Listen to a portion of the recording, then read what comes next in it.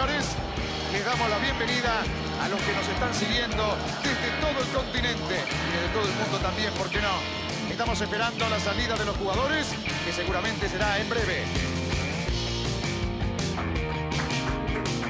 Muy pero muy buenas tardes a todos, sean todos bienvenidos. Voy a dejar mi celular acá y voy a chocar los cinco. Voy a saludarla a ella. Ahí está. A la señora de las redes. A Cuatro- nuestra. cuatro décadas, Claro, no, Como no, le vamos a decir No, nada bueno. a ella. Bueno, cuando dijo a la señora. dueña de nuestra permanencia en el Instagram, en el Facebook y todo lo demás.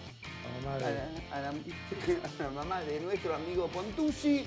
Nos estamos refiriendo a Diana Valdés. ¡Feliz cumple, Diana! De parte de toda esta banda deportiva, acá estamos para hacer éxitos una vez más. ¿Y ¿Cómo por qué no? A Espumita, que también no Sí, está, pero. Tal cual. Es verdad, Gastoncito. Gastoncito. Van cumpliendo años los compañeros de acá. Otro de el alma mater del El mío equipo. estuve, ¿eh? Ahora se Vaya ahorrando suyo. plata que viene. ¿Sí? Eh, un regalito le vamos a traer un presente. ¿Quintina ya? 55. 5-5, ¿no? Los gallegos. Qué lindo. Bueno, acá estamos. Hoy vienen los campeones, ¿me lo prometen? Hoy vienen los campeones, nos dijeron ya, los tenemos confirmados. Viene el entrenador, viene el capitán, viene Mercantil. Sí, que está a laburando, ofrendar la copa acá. Vienen los que pueden, ¿no? Claro, están todos laburando, Sí. pero nos, nos pidieron por favor, compartan la nota en las redes, nos vamos a estar claro. siguiendo, así que trabaja en el día de su cumpleaños Diana Valdés, porque después de la nota va a estar todo subido. Bueno, lo teníamos desde ayer, vamos a hablar de este cuadrangular de básquet que apareció el fin de semana, este U21, eh, que, que anduvimos por allí, en la cancha 4, también en Ana Girón, ¿no? Sí, tal cual, vamos a hablar un poquitito de esto, hablaremos un poco también del vóley, hablaremos de handball, tenemos un poquitito de todo. Hoy, para contar en materia deportiva, no solo esto, sino ya el viaje Dos delegaciones sí, salieron. de las delegaciones fueguinas que nos van a estar representando en citas patagónicas, Ajá. una de futsal, la otra que arranca mañana, los de la integración Que patagónica. ayer estuvimos haciendo justamente eh, el móvil desde la casa de, de gobierno, ¿no? Tal cual, Tincho. Vamos a estar hablando un poquitito de esto. También nos centraremos un poco en lo nacional e internacional. Hoy juega Boca Vélez. tiene rival. Sí. Copa Argentina. Copa Argentina. Boca tiene rival, cierra la fecha de Copa Argentina. Esta noche hay un nuevo Talleres partido. Newell's. Tal cual, Tincho. Además de eso, juega Vélez por la Copa Va a Libertadores. cumplir, digamos. Ya pasó Paranaense, espera por el Flamengo, por los papeles, para terminar. Pacto de poca agresión, parece. Ataja Burián, dicen, Ajá. no ataja Hoyos. Esa es la gran sorpresa. Sí, en del las probables formaciones lo Medina. daban, pero cambio último momento. Hoy hablaban, se hablaba mucho, se hablaba fuerte de que Burián iba a ser el arquero. ¿eh? Bueno, se fue el ruso Zielinski de estudiante. Se ¿Te fue, cuenta? se fue el ruso Zielinski, sorpresivo lo del ruso, ¿Hay nombres? y empiezan a dar vuelta. Bueno, le vamos a pedir al señor director, por favor, los títulos de esta mitad de semana de este miércoles. Vamos. Y arrancamos con la actividad de el rugby regional que tuvo el clásico otra vez, fue fucsia y negro, lo más alto para el fucsia que ya empieza a pensar en los próximos compromisos. El fútbol patagónico que se hizo presente y ya tenemos la confirmación. Dilernia va a ser el árbitro asignado. Dilernia va a ir a Río Grande para la eliminatoria con Petroquímica. Y lo que decíamos, la presentación de los seleccionados ya viajando hacia la Pampa, hacia la localidad de Santa Rosa, Sí. con la presencia de nuestros seleccionados desde muy temprano en la jornada de hoy, Pincho, ya se dio la partida de la delegación fueguina que nos va a estar representando. En la primera de las citas patagónicas, mañana dicen, ¿eh? en este caso, la posibilidad de eh, poder realizar estas acciones desde Santa Rosa a La Pampa, poder tener el acto de apertura El viernes. el viernes y la presencia además de nuestras delegaciones, ya que se vean eh, dentro del fin de semana competitivo, dentro de la programación de las ocho disciplinas que a partir de este año, a partir de esta cita patagónica, empiezan a tener desarrollo. Ahí está, vamos a comenzar a pagarle, si le parece bien al señor director, lo prometido. Vamos a hablar un poco del básquetbol, lo que sucedió el fin de semana y que comenzó en el primer día, el día sábado, en la cancha 4, Hugo Ítalo Favale, U21 fue la competencia y eh, justamente la presencia aquí en la capital de la provincia de Tierra del Fuego de eh, que es el equipo que estamos viendo naranja, y también Metalúrgico. Decía, jugaron contra los nuestros, contra Club de Amigos y Colegio del Sur. Bueno, iban a, jugar eh, varios partidos y todo se iba a definir en eh, gimnasio profesora Ana Verónica Giró de las 245 viviendas. Yo le voy a contar porque estuvo muy, pero muy parejo eh, en cuanto a los partidos. Jopen le ganó 70, cayó con Amigos en lo que diríamos fue la final 84-79. Amigos le ganó Metalúrgico muy ajustadamente por un doble 95-93. Metalúrgico, el equipo riograndense, venció 71-36 a Colegio y también fue categórica la victoria de Chopin ante Colegio del Sur por 99 a 49. De esta forma culminó eh, este, esta sorpresiva eh, cuadrangular U21 que se realizó el fin de semana con amigos como el ganador Chopin en el segundo lugar, Metalúrgico fue tercero, el otro equipo río grandense y Colegio eh, del Sur que ocupó el cuarto lugar. Viene muy bien porque más allá de ser U21 Esteban, eh, hubo jugadores mucho más jóvenes o un poco más jóvenes que todavía pueden estar enrolados en algún seleccionado de Tierra del Fuego. Sí, los que vemos ahí, eso es lo que te iba a decir, muchos jugadores de Araucanía, eh, más que nada de esa franja etaria. un poquito de volumen claro, para poder brindarles la posibilidad de poder desarrollarse allí adentro de la cancha. Cancha 4 fue el elegido para el escenario para poder desarrollar este cuadrangular. El primer día. El segundo se fueron al Giro. Al Giro, acá enfrente, Tincho. Y de esta manera poder, más que nada, tener una categoría que hace un tiempo ni existía, no, no, por supuesto. Eran jugadores o, de, o más jóvenes o directamente de primera división. Se lo tomó muy bien Emanuel Nanco, ya lo vamos a, eh, escuchar un torradito. Dijo: hicimos un poco de turismo eh, y de paso vinimos a jugar un partido. De visita. Y yo agarré, ¿qué? ¿De qué íbamos a hablar? De esto, pero también Chopin fue partícipe de lo que transmitimos nosotros. Claro, tal cual. Así que. De, la actividad formativa de la, liga. ¿no? Tal cual. Así que hablé con el entrenador río grandense, con Emanuel Nanco, cuando pasé por cancha 4 esto me dijo.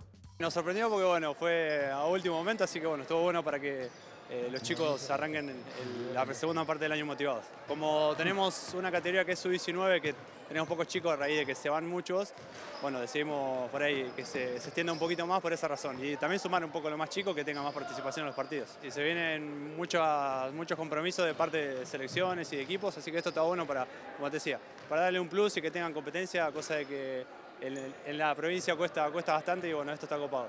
Decía, se armó a último momento, pero hay contacto y buena onda entre los entrenadores de estos cuatro clubes que, vienen trabajando mucho, no solo con las juveniles, sino con las formativas, ¿no? Sí, sí, siempre. Creo que todos buscamos el mismo objetivo, que es que el básquet de la provincia crezca y esto suma un montonazo. Más allá de que sea último momento o no, eh, la prioridad es que los chicos jueguen y esto, esto suma un montón. Aprovecho la oportunidad, acaba de pasar con televisación incluida la Liga Nacional de Formativas, donde Chopin participó y, dejó una gran imagen. Sí, sí, estuvimos muy cerca, muy cerca, muy contentos por el desempeño de los chicos, por la verdad que eh, nos estuvimos preparando desde febrero, haciendo la pretemporada, así que fue un logro muy, eh, muy bueno porque la gran mayoría de los partidos cuando cruzamos el charco a veces nos sacan 60, 70 puntos y uh, quedar afuera por tan pocos puntos, que fue diferencia de 10, 12 puntos, la verdad que fue un, logro muy bueno por los chicos y además que era la primera vez que jugábamos un federal también como club.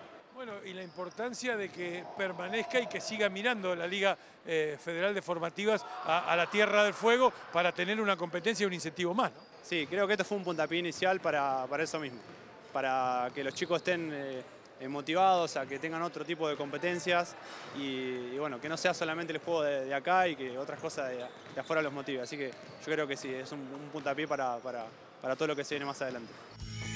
Ahí estaba Emma Nanco, hacía rato que lo había. Buen jugador eh, Sí, también de, de primera, primera división, división. Y ahora se está capacitando mucho como entrenador. ¿eh? Sí, y vos sabés que es uno de, eh, así como el Huevo Sánchez, Sí. es uno de los coach, es uno de los entrenadores escogidos para dar habilidades, destrezas personales, aplicadas obviamente a, a toda la actividad del básquet, que ya tienen su campus, lo llaman, lo contratan y va Y a y, realizar eh, ese algo tipo de- específico, Claro, cosas puntuales. Como el- como el hijo del huevo, como Claro, decimos, claro. Lo, lo mismo que hace el huevo Sánchez, habilidades personales, destrezas personales, o sea, capacidades individuales, gestos técnicos volcados a la actividad del básquet. Y además de eso, se dedica al análisis y uno lo ve en las distintas plataformas eh, de Instagram, Ajá. en YouTube, también en Facebook, como los demás este, integrantes, entrenadores, jugadores, le van consultando cosas y él les brinda sus explicaciones, hace didácticas de qué se hubiese cobrado en, en esta jugada, en tal o cual acción. Ajá. Un Eh, tipo bueno, que se preocupa por estar actualizado. y Sí, le tal gusta cual. mucho, ¿no? Y además de eso, que está teniendo un alcance internacional, porque lo contactan de, de diferentes- diferentes lugares. Sí, sí. Algo muy positivo ha encontrado en esa faceta eh, una, una acción personal, de trabajo más allá de todo, pero de un perfeccionamiento, como lo hizo el hijo del huevo Sánchez. Hace un tiempito atrás, hará nada, un mes, estuvo haciendo una especie de campamento acá en las vacaciones de invierno, Ajá. al cierre de las vacaciones de invierno, en Colegio del Sur. Vino a brindar su conocimiento a los pibes para formarlos. Me pareció algo muy bueno de lo que estaba haciendo más allá de... Y siendo muy joven él su- también, ¿no? Claro, tal cual. Más allá de su acción personal dentro de lo que es eh, en las formativas de Chopin, bueno, encontró esto, el campus de Nanco junto a Flecha. Bueno, y cambiando de disciplina deportiva, una de las cosas poquitas que se pudo realizar durante el fin de semana en el Petrina fue el handball, ¿no? Sí, tal cual. Tuvimos actividad deportiva allí en las instalaciones del Carlos Petrina. Estuvieron los intercolegiales. Vimos incluso a muchos integrantes de la Federación de Handball acompañando. Este es- De esta es la parte escolar, claro, por eso, Claro. De hecho, estuvo, por ejemplo, estuvo eh, Mónica Argüello en la tribuna junto a diferentes dirigentes de Galicia. Se acercaron también para ver las acciones, para contemplar las acciones de estos intercolegiales. Aquí dirimían eh, el ganador local, digamos. ¿no? Claro, el pase hacia lo que era el provincial vendría a ser de la actividad. Cara a cara, frente a frente, los equipos del Olga B de Arco y el José Martí. Esto en la rama femenina. Para de esta manera cerrar la primera etapa, buscando ahora los pasajes a Mar del Plata. Esto, ¿sabés cuándo va a ser? Dentro de un par de fines de semana. Que este fin de semana no. Se espera en el próximo, en el posterior, cuando ya se determinen también las plazas locales. ¿Y se jugaría acá? Y se jugaría aquí, en el mismo escenario, en el Petrina, la posibilidad de pasar a Mar del Plata. En juego, esto, la vuelta de los intercolegiales, pero sin duda que la gran motivación pasa a ser los Juegos Nacionales Evita. Sí, pensar que en un, en un momento, en el Evita, algunos años atrás, esta era la única categoría que tenía el handball. ¿te acordás? Claro, y después empezó a jugarse dentro de lo que era el handball federado. Claro. Y entonces tuvieron la acción tanto los escolares como aquellos que formaban parte de los clubes. Ahí un poquitito de la actividad del femenino, de lo que fue la presencia de las chicas en cancha, los conjuntos del Olga B de Arco y del José Martí, midiéndose en esa rama, Claro, en el después jugaron los varones. sub-14. Después jugaron los varones. Tenemos imágenes también de los chicos porque allí ganó el José. Martí ante los Andes hasta el final. Fueron gol a gol, Tincho. De hecho, lo ganaba los Andes, lo pasó después sobre el final. El Martí se lo llevó. El Olga B de Arco entonces y el José Martí, los dos ganadores. Uno en la rama femenina, el otro en la masculina. buscando ahora los de verde el pasaje a Mar del Plata. Son los mismos títulos, así que los podés dejar No porque son los intercolegiales. Claro.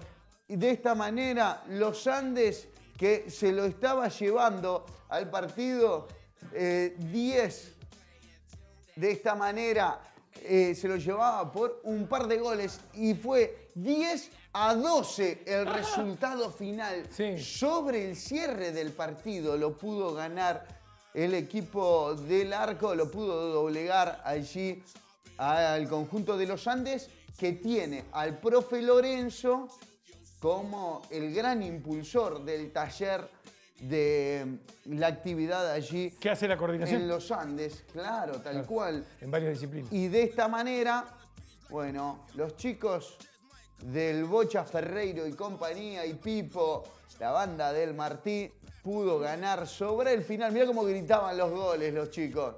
Para de esta manera ir en busca de Mar del Plata. Sí. Con todo, ¿no? Tincho. ¿Vamos a Mar del Plata o no? Y yo creo que sí, con todo lo que vendió el mes pasado de Mar del Plata, debemos tener Sí, tenemos que tener Pasaje. alojamiento, pasaje, algo. ¿no? tragos, tragos libres en la playa. En la playa. Ay, Era verdad eso, porque era parte de la, de la publicidad. de que De si acuerdo. querés ir a Mar del Plata, lugares únicos. Lo bueno del desarrollo Sí. de la actividad, más allá de todo lo que estábamos diciendo, lo bueno del desarrollo es la vuelta de los intercolegiales, el regreso de la formación desde los colegios en adelante. Esta es la edad temprana para ir captando talentos. Sí, que después que- terminarán en algún club. Claro, y que se los vayan llevando a los clubes. De hecho, eh, lo, lo vamos a escuchar ahora en la profe Sicutini, que ella misma dice, Laura. claro, muchos de estos chicos ya están insertos en distintos clubes, ya fueron vistos, los fueron fichando, los fueron invitando a participar y eh, tienen esta posibilidad de desarrollo. Primera de la actividad escolar del sub-14, pero posteriormente van a estar jugando un sub-16 y dicen que quieren ver si pueden orientarlo hacia el sub-13, la u- más que nada esto, la última etapa previa a lo que va a ser A ya llegada el al sub-14. ingreso, claro, hacia los Evita. Bueno, y, la- y después, en la semana seguramente lo vamos a averiguar, pero salvo que yo esté ma- mal, que recuerde mal, esta empezaba a ser el mes donde supuestamente iba a haber una competencia nacional en Río Grande. ¿Te Claro. acordás? Habrá que, que ver porque eh, había versiones encontradas acerca de, de lo que iba a suceder, pero algo va a pasar, me da la sensación. Tendremos que averiguarlo. Sí, o se hace o no se hace. Sí, o se cambia o de se formato. cambia de formato, claro, a eso es lo que puede voy. ser eso. Pero, pero se En vez de hace. transformarse en algo nacional, se puede transformar en algo patagónico, Patagónico. o provincial. Por yo, eso, para no perder el, actividad va a haber, a eso es lo que voy.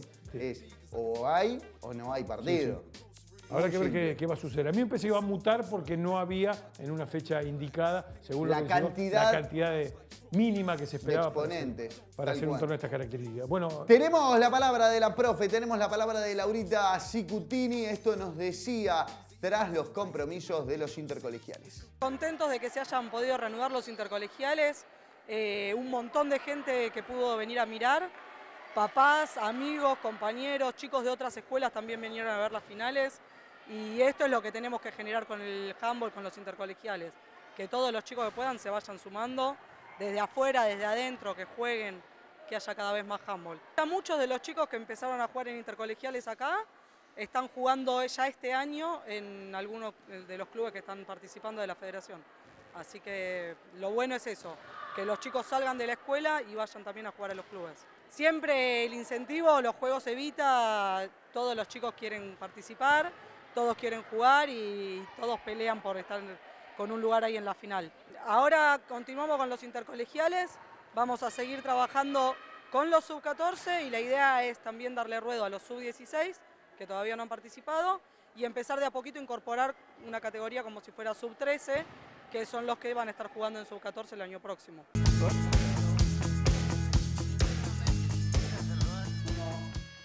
Bueno, ahí estaban entonces nuestros exponentes de los juegos intercolegiales. el primer bloque. ¿eh? Tony 20, como siempre Ay, lo 20. hacemos. Sí, no sé usted qué dice. No, Yo lo vengo llevando de la mejor manera. El reloj, Bueno, reloj de arena. Lo está llevando como los. Sí, vamos todos ¿Sabés a dónde? ¿A dónde? A la pausa. Y cuando volvamos de la pausa, hablamos con ellos, con el capitán y el técnico de Mercantil, los campeones de la sexta edición de la Copa Ushuaia. Se lo quedaron a puro penal. 17 segundos quedaba para terminar el gol con ayudita. ¿eh? ¿Usted sabe qué dijo usted en el coso, en el relato? Que había sido Berti. No, no le pegó Berti, le pegó a Luchi Licolier. Bueno, lo mismo. O Berti levanta pateó el a taco. la vena, pateó a la vena, le pegó. Para mí, para mí le pegó Nah, Berti. no mientas, te equivocaste. Ahora le voy Vamos a- a la pausa, ahora volvemos. Ahora le vamos a preguntar.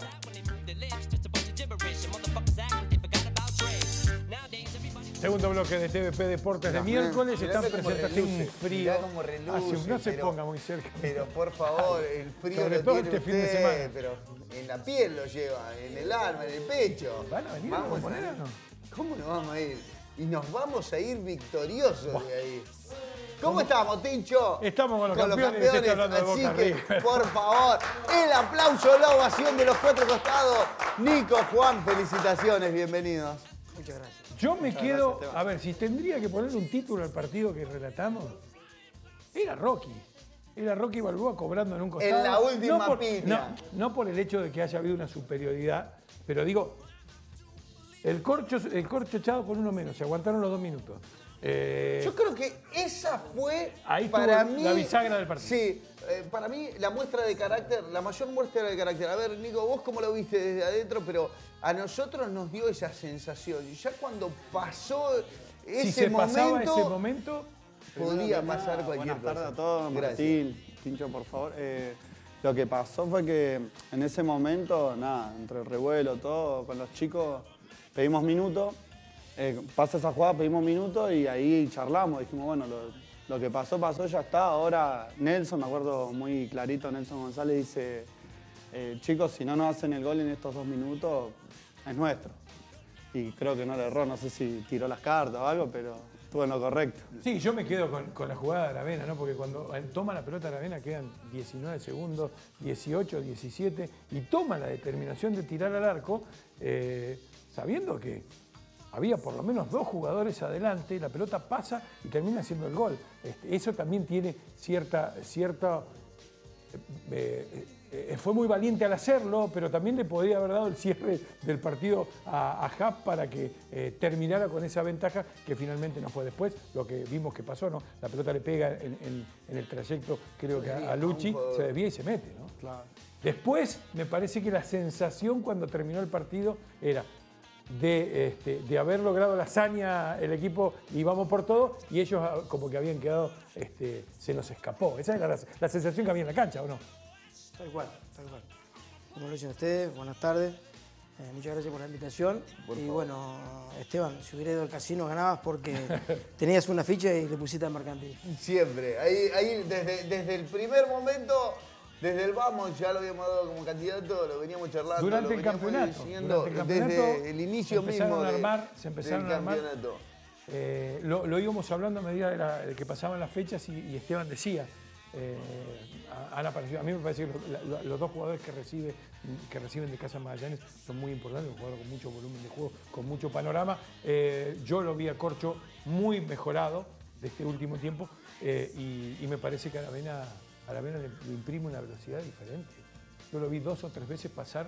Ya juegan a una velocidad muy, muy grande ustedes, todos, eh, pero me parece que Aravena también le pone una cuotita eh, al equipo, le, le- le suma, ¿no? No, el plus que tenemos por ahí es el hecho de. Confiamos en. Todos somos iguales. eh, ninguno es ni más ni menos, somos todos iguales, vamos todos para el mismo lado y le damos la pelota tanto a Luca como a Iván, a Nata, a Nelson. Ellos se entienden mucho. de- Nata y Nelson son jugadores que jugaron casi toda la vida juntos, Claro. ¿viste? Son un, un plus, digamos. Que apostamos a eso, apostó Juan, Clavo también. Clavo tiene mucha experiencia, si bien eh, recalco, él no entró en el partido, pero a la hora de patear el penal no le tembló.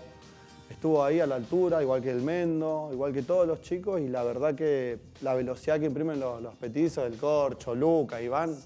Bueno, vos fíjate, que, vos fíjate que, que el Corcho participa en jugadas trascendentales del partido. Mete el descuento importante, el 1-2, y después, bueno, la jugada en la que lamentablemente lo levanta a Oberti, ¿no? Y se, se Claro, tiene y que ir. se, y se termina yendo. Juan, a ver, en líneas generales, haciendo una breve reflexión, ¿cómo fue la Copa? ¿Cuándo empezaron a sentir que podían estar, que se les podía llegar a dar?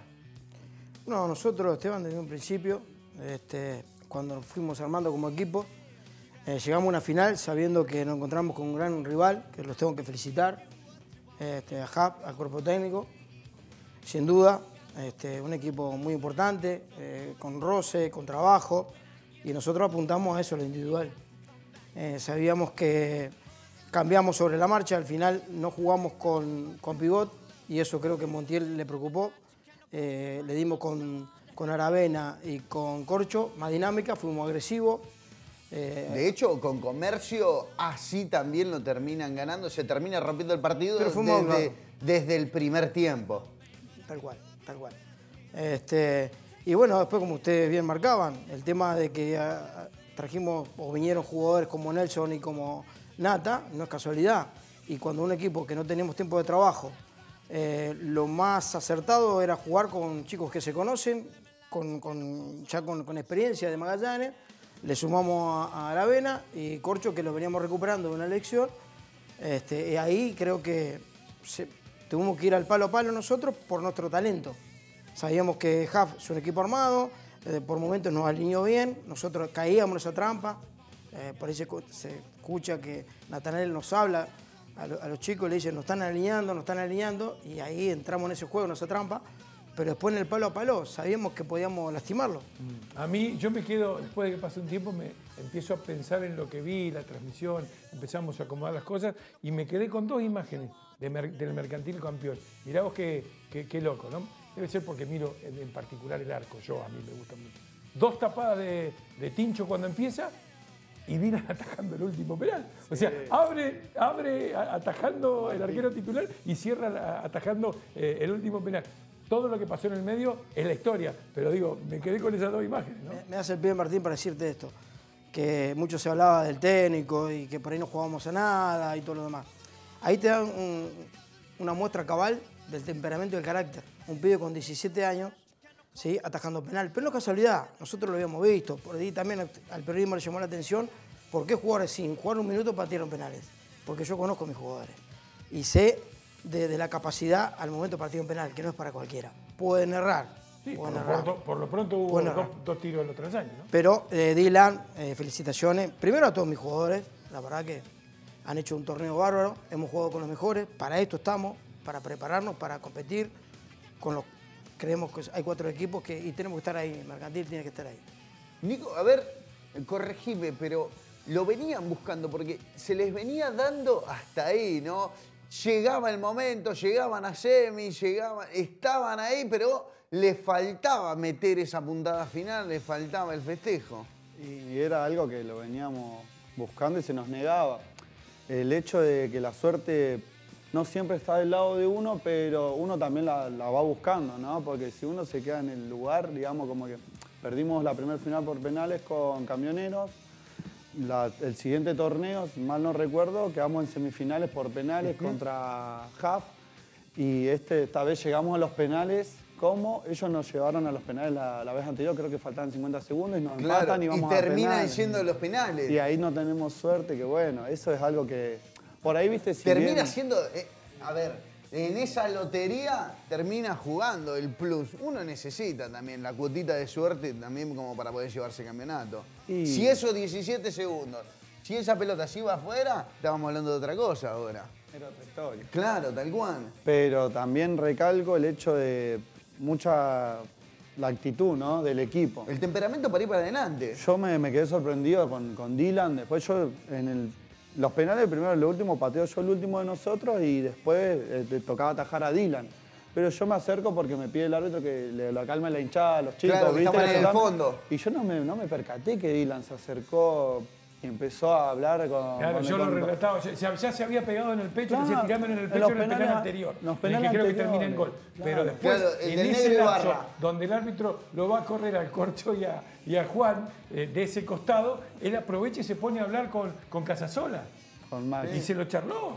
Sí, no, aparte, no. Yo lo- después cuando lo dije, no, este muchacho está, no, tiene, tiene 17 años, pero tiene la, ten- digamos, la temperatura, ¿no? En la sangre para una final Por lo hacer pronto eso. gana, gana Camioneros una serie en penales con, también con Sí, con. Dylan, con, con Dylan tapando. Sí. Claro, él no tenía penales. rodaje, no tenía Estaba- rodaje en camionero, ¿viste? Eh, Estaba medio relegado eh, desde la llegada luego de, de Manolo. Había Charlie perdido terreno. Estaba ahí, Charlie. Claro. Estaba, creo que estaba Ítalo, Charlie y Manolo. Y en un momento creo que también estuvo el Sanjo. Estuvo el Sanjua, Claro. que ahora está en comercio, está con su hijo. Y él habla con, con, con Clau, habla con Martín, que él lo motiva mucho y él se viene para nosotros. Y bueno, gracias a Dios podemos decir que hoy es la, el muchacho que tapó el penal del campeonato. Siendo Juan, importante. y, y cuando terminaba el primer tiempo, yo hablaba con el pelado y le decía eh, que, y esto terminaron dosificándolo muy bien, si le iban a alcanzar las piernas a Mercantil, porque ese trabajo de seguir lo que te propone Jaf te mata. Porque tenés que, si utilizan todo, todo el límite de la cancha, que es un poco más angosta que, que las tradicionales, no es un 20 por 40, pero tenés que ir todas las veces porque tiene muchas precisiones en los pies y si no vas te meten un globo o te cruzan una diagonal. Hay que seguirlos y seguir la pelota. En el segundo tiempo, en realidad, con los cambios aguantaron y muy bien. Y demasiado bien. Este, creo que de lo emocional, trabajamos mucho en la semana, nos juntamos para ver los videos de, de Hub y nos sirvió, nos sirvió, nos sirvió para ver en dónde podíamos lastimar. Y como decían ustedes, eh, ellos tienen dos cuartetos o tres y nosotros no llegamos a completar el segundo cuarteto. Claro. Tenemos un cuarteto bien Fuerte. balanceado, ya el segundo se nos complica y después tenemos que mechar. Y así fue que llevamos el partido. Lo, lo bueno que se notó, a ver, al cierre mismo del juego, el equipo de, Mercantil iba para adelante. Había puesto a Agustín Salcedo adelante con el arquero jugador. Y el conjunto de Hub, en el momento que, en esos pasajes, en esos minutos, cuando quedaban 3, 4 minutos, empezó a cederle el balón. Sí. Empezó Desde a tirarle, claro, desde el fondo empezó a tirarle la responsabilidad a ustedes. Yo creo que se equivoca Y, ahí. y él- a mí me parece que en esa circulación es donde también ustedes se hacen fuertes y se dan cuenta que pueden ir para adelante, ¿o no, Nico? Porque se veía que atacaban permanentemente. Yo lo que sentí es que a partir del que pasan esos dos minutos que no, tenemos, que no teníamos un jugador, cuando ingresa Matuca, Matías, Claro. eh, ya era otro el, el ambiente. Nosotros, yo creo que nosotros, yo mismo lo sentía así, digamos, como que teníamos un poquito más que ellos. Yo sentí que, nos daban, resto. que nos daban la pelota que ellos querían cerrar ahí, Claro, con el 2-1. Tal cual. Y si mal no recuerdo, vi varios, digamos, en la hinchada que creo que faltando 50 segundos, un minuto, empezaron a cantar, empezaron a aplaudir y... Claro, cuando- empezaban a, tratar de levantarlo al equipo. Y cuando vemos que, que Lucas, digamos, bueno, saca ese puntazo, creo que que... ya había tenido dos anteriores que le habían pegado, una se había ido afuera Ah, y otra otra le había pegado, sí, Sí. tal cual. Sí, y, y alguien silencioso porque no luce, porque por ahí no, no se impone físicamente, pero fue importante para usted. Para mí fue Godoy también. Ivancito, sí, Iván, no, Iván eh, es... Iván cumplió. es más, creo que quedaron dos, está la- las imágenes, porque quedaron dos o tres jugadores de mercantiles tirando porque estaban acalambrados, porque con lo último llegaron, pero es lo que dice Juan, era lo emocional de ahí. Me parece que ya no había Yo pierna, tengo un dato ahí aire ya, ¿no? que en los penales, eh, bueno, eh, quedó a a cargo Juan, él decide porque las, las otras veces anteriores él no- nos dio, digamos, la oportunidad de decir yo pateo, yo estoy bien, yo quiero patear y esta vez le le tocó a él, él eligió los, los pateadores y en un momento dice, bueno, eh, Mendo va el primero, el segundo va, creo que Clavo, no, Seba. Seba, el tercero va mm, Clavo, al cuarto Matuca. Claro, Eh, que lo yo- termina tirando afuera. Claro, que le pega punta. Yo iba al quinto y el seto no contábamos el seto, queríamos llegar hasta ahí. Y cuando se completan, digamos, hasta el cuarto y llega al quinto, eh, vemos que encara a Ivancito. Y Claro. viene, se me acerca Clau y me dice, ¿vos no vas a patear el quinto? Le digo, No, no sí, le digo, sí, le digo, pero déjalo, le digo, mirá cómo Claro. encaro, le digo, déjalo, Claro. déjalo, le digo. Le pusimos Se toda tiene- la fecha, no. Claro, se tiene toda la confianza. No, ne- no, le damos confianza a nosotros y él se la, si lo sienta así, bueno, por suerte puedo concretar, aparte definió bien. Sí, bien aparte se, aco- se acopló bien al grupo. O sea, son varios los jugadores que empezaron a sumar desde ese punto, ¿no? Que llegaron como refuerzos, se acoplaron bien y el grupo también lo sintió como propio. Déjame hacer una mención especial a Lucas Aravena, Claro. que no, no, no entrenó toda la semana porque tiene el pie mal, muy mal, eh, a punto que lo íbamos a infiltrar, no, no se pudo, pero a base de pastillas y todo lo demás pudo jugar. Este, pero, y bueno, tuvo un golpe con, con el 5 de Huff, que era, era, era para sacarlo, pero el temperamento lo tuvimos que sacar un poquito. Con el respirar. pollito. Sí, Un sí. roble el otro Se- también, Se, ¿eh? vuelve, se vuelve a pegar donde tenía lastimado y el penal era para él y no, no- no- pudo patear. Así que déjame hacer esa mención porque la verdad los chicos dejaron todo, tengo que felicitar al plantel, la verdad. Este, jugamos con un gran rival, con un gran rival. Si ustedes lo daban como, como favorito y es así, eh, venía con más chapa, pero bueno, una vez se tiene que hacerse fuerte en lo que tiene y, y- y darle un poco de, de- de ese temperamento y esa, esa bronca, digamos, sacar un poco más para superar lo que el otro equipo tiene y bien armado. ¿no? No, pero también está bueno lo que vos decías hace un rato y con lo que yo cerraba la, la transmisión en ese momento. Vos nombrabas los cuatro equipos, ¿no? Está Mercantil, está Comercio, está Camionero. HAP y está Camionero. Puede ganar el campeonato cualquiera y eso está bueno. Porque Sí. aparte ya debe haber un quinto que quiere estar mirando y yo quiero estar ahí. Bueno, tenés que laburar, tenés que armar un plantel, tenés que... Se hizo más atractivo hoy en día. Mejoró mucho el tema ha- del ha levantado nivel. mucho el nivel de- del futsal AFA local. Si no, hubiera, si no hubiera caído en la transición que, ca- que cayó, el quinto sería tenido. Claro, que Sin ningún estuvo duda, siempre por, los- por los laures y por todo lo que, Sí, a todo lo que llegó. Años atrás andaban muy bien ellos, viste, bueno, es una transición, creo que eh, igual, quiero destacar que ellos, si bien esa transición, tres, cuatro jugadores están en el norte, digamos, Claro. eso es mérito también del esfuerzo, ¿no? Y forman muchos pibes de la cantera. ¿eh? Es uno de los equipos que fomenta el semillero junto a comercio. Eh, hay dos o tres clubes que son formadores natos. Bueno, yo también decía en la transmisión que eh, cuando veíamos a Brum, cuando veíamos al Pollo, cuando veíamos a, a Sariel, todos jugadores que pasaron por CAEF. Sí, eh, el mismo Paco Ibarra. Se conocen hace años ellos, sí. Vienen jugando desde hace mucho. Bueno, Nico, más que nada, ¿qué resaltamos del grupo como para ir cerrando la nota? ¿Qué resaltas de este mercantil campeón? Del Mercantil Campeón resalto que vamos todos para el mismo lado, que somos un grupo que quiere crecer, que quiere dejar al club bien alto. Tenemos el respaldo de Juan, de la comisión del SECU, que nos abren las puertas para todo y queremos llegar a lo grande. Corregime, ¿vos ya estuviste en la otra obtención de la Copa de Ushuaia o no? No, es la primera copa que, que gano yo en lo personal. Claro, en No, lo no, personal. No, no debutar yo. ¡Qué jugador! Este clavo. no votar. No debutar yo. Y Porque yo me ahora, acuerdo, Sí. eh, porque en la retina tengo de haber relatado a ese equipo de mercantil campeón que lo tenía el pájaro Lemón. 2018. claro, Claro. en el microestadio. En el 2018. microestadio. Estuvimos nosotros transmitiendo, Sí. claro. Ojo, y el fue- pájaro tiene, es el único que tiene tres que, Y no jugaba- que fue el goleador de la ¿Y no Copa jugaba y Toro? fue intratable. ¿No jugaba Toro? En el arco estaba Gaby, si mal no recuerdo. Montenegro, Sí. Claro, Montenegro. Montenegro. Por eso, te- por eso no, no me acordaba si vos estabas o no. Por eso El quería Corcho el Corcho sí. No, jugaba para camioneros en ese momento. Claro. Y, pa- y el, y el- bueno, ¿Y, vos también? Entonces, para camioneros no. No, no, yo Ah, la primera, la. Soy nuevo, soy nuevo ¡Qué grande! Nu- Nuevo y capitán. Eh, Juan, y, y ahora se va a volver, bueno, pasarán muchas cosas, pues se viene el, el Patagónico de Selecciones y, y otras cuestiones, pero digo, se van a volver a separar la A y la B y, y todo el mundo querrá ganarle mercantil.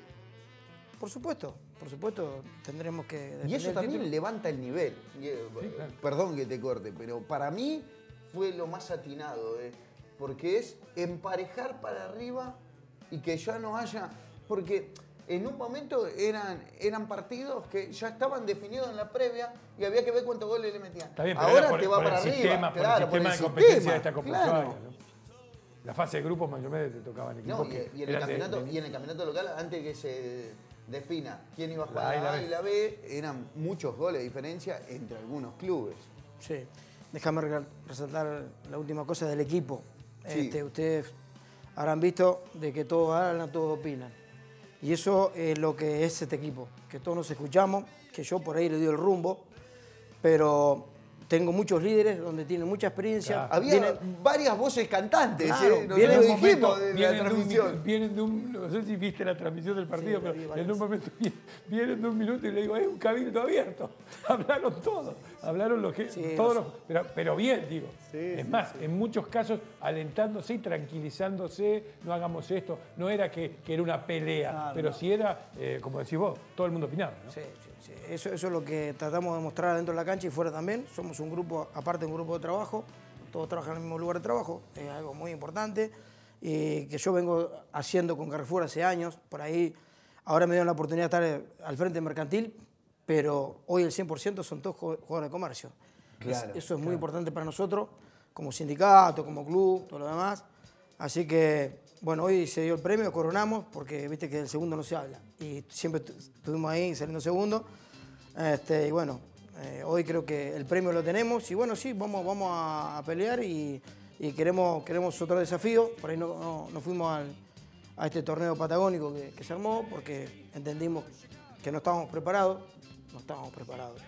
Este, pero bueno, ahora con un título, creo que en, la espalda eh, va a ser otra cosa. Lo más difícil ahora es mantenerse, sostenerlo. A ver, en el tiempo lo que uno más resalta es esto, lo que charlábamos. Che, tuvieron en la conversación. En tal fecha terminaron segundo, en tal fecha perdieron en semifinales, pero por penales. Ahora salieron campeones. Bueno, eso es lo más difícil, ¿o no, Nico? Y mantener eh, los pies en la tierra, creo Claro. yo. Estar a la altura de, digamos, no, no creérsela, es lo que hablamos con los chicos. Ahora lo complicado es que todos nos van a jugar distintos, eh, todos van a decir que somos el favorito, pero nosotros con el trabajo silencioso que venimos haciendo, torneos atrás, años atrás, creo que vamos a poder sostenerlo. Ojalá se nos dé de nuevo poder estar acá, compartir con ustedes, pero queremos hacer ese trabajo silencioso y con humildad. La última, Juan, a este equipo, a este plantel hoy, ¿le faltan un par de jugadores todavía? ¿Experiencia en vista o con esto te arreglas? No, no, como- sí, tenemos, tenemos, pero por respeto a los compañeros que están, a los jugadores que están. No, pero como se habla todo, en realidad, en- en- Sí, Se sí, opina, ¿no? llama, llama la atención y cuando sos campeón, sí, me han llamado, eh, también por lo laboral, porque Claro, no podemos dejar de, ver- de ver eso. Hoy los chicos tienen Es un entre, ingreso. entre 20 y 29 años, entonces ya su independencia, necesitan un laburo, tienen su familia. Y bueno, nosotros tenemos la oportunidad de, de- de abrir puertas, este, pero no, no, por ahora vamos a ver. eh, quizás en algún momento vamos a tener que reforzar porque hay lugares que sí necesitamos más peso. Este, y bueno, tendremos que trabajar en eso y no equivocarnos como hasta ahora, que la verdad nos ha salido bastante bien todo. Digo porque llevo, llevo tus palabras. Huff tiene dos cuartetos, yo no. Quizás tenga que ver con, con la falta, Armar, con claro, la falta de armar armar. un- Por eso te un digo. equipo un poquito más largo. Por eso te digo, Martín, en el caso de ir a un patagónico y todo lo demás, tenés que tener dos cuartetos. Tenés que tener Sí, sí, es el futsal moderno. Es Por así. ahí lo que resaltamos nosotros es que no tenemos, si bien tenemos a Juan, digamos que él se mueve para todo, nos acompaña en todo sentido, eh, no tenemos preparador físico, eh, para un kinesiólogo, director técnico. Por eso también eh, rescato del tema del grupo, que opinamos todos, nos respetamos entre todos, compartimos ideas y tratamos de calmarnos y que sea, que sea armónico, digamos, que sea una armonía entre todos y que ninguno se sienta más que el otro y podamos, digamos, ser todos balanceados en ese sentido. Igual, tener un gran técnico no te asegura un resultado. No, Eso, por lo Eso, y pasó algo fortuito, última jugada, 20 segundos, todo abrazándonos. y- Sí, bueno, el estaba grupo- abierto. Sí, sí. Sí. O sea, produ- producís lo de- faltando 17 segundos porque el partido está apretado. Sí, sí, Claro. Si fuera el 7 a 1. Sí, Y porque se provocó de esa manera. Chicos, gracias por haber venido. Será hasta la próxima. Lo mejor para todo lo que se viene. A seguir en esta senda que viene muy bien. Y en el próximo bloque, mirá lo que tenemos, Tincho. Mirá Ya lo que de está. viaje. Claro, esa es la imagen del último entrenamiento de la selección de Ushuaia femenina de Futsal AFA. Tenemos imágenes no solo del último entrenamiento, sino del viaje que emprendió la delegación desde hoy a la madrugada. Nos vamos a la pausa, ya venimos. If your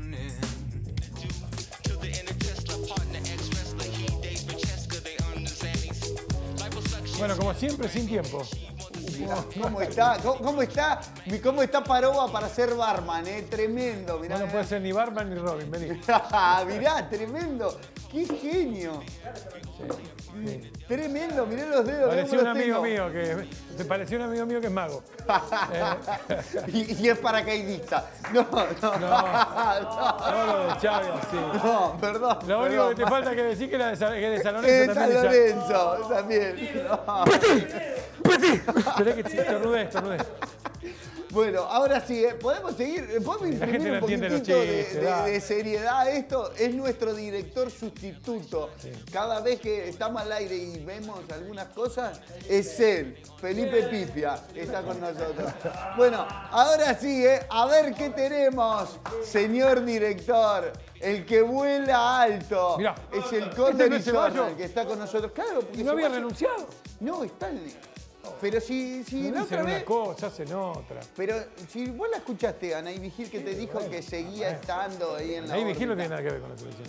Porque a Anaí Vigil se la habían ofrecido en la Ah, bueno, selección. pero ella no era. te lo había dicho. Sí, pero ella no es. No, la- el técnico es Ceballos. Y Ceballos, a mí lo que me dijeron es que estuvo comandando a todo el cuerpo técnico de Ushuaia. Como que es un coordinador ahora.